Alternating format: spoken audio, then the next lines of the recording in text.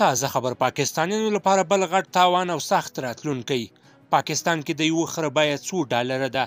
پاکستانی رسنیو تازه څه ویلي بشپړ حال په همدغه ویډیو کې وګورئ او زموږ چینل سبسکرایب کړئ درنو لیدونکو السلام علیکم پاکستانی رسنۍ وایي په دغه هیواد کې دا مهال د یو خر بیه له زرو ډالرو لوړه شوې او دا مهال چین ته د پاکستان د خرو لیږدول زیات شوي. ویل کېږي په چین کې د خرو له پوستکي څخه د درملو په جوړولو کې کار اخیستل کېږي او چین یې له پاکستانه پیري. د رسنیو د راپورونو له مخې په دې سره چین کې د خرو غوښتنه زیاته شوې او په پاکستان کې د خرو بیه لوړه شوې ده. د پاکستاني رسنیو د راپور له مخې د دغه هیواد په ستر ښار کراچۍ کې د یو خر بیه درې لاکو کلدارو ته پورته شوې چې هلته یې د خرو د ګاډیو چلوونکي اندېښمن کړي دي. دغه رسنۍ وايي په چین کې د درملو او د ښځو د ښکلا په کریمو کې د خرو له پوستکي ګټه اخیستل کیږي چې په دې سره له پاکستانه چین ته د خرو سوداګري ډیره شوې ده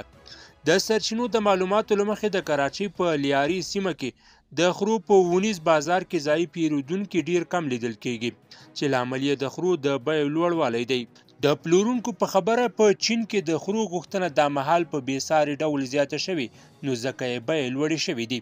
یو شمیر پاکستاني رسنوي د څوارلس سوه درې غبرګولي دوه ویشت مه ویلي و چې د دوه زره او درویشت کال د سروې له مخې په پاکستان کې د یو کال په لړ کې د خرو شمیر زیات شوی دی.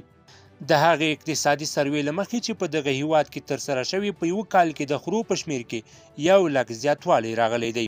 تر دې مخکې رویټرز په یو څیړنیز راپور کې لیکلی و چې د خرو د پوستکي څخه اخیستل شوي کلاجن چې دودیز درمل ترې جوړیږي او په چین کې یې غوښتنه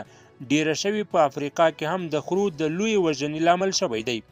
دغه څیړنیز راپور کې د چین د دولتي رسنیو په حواله لیکلی و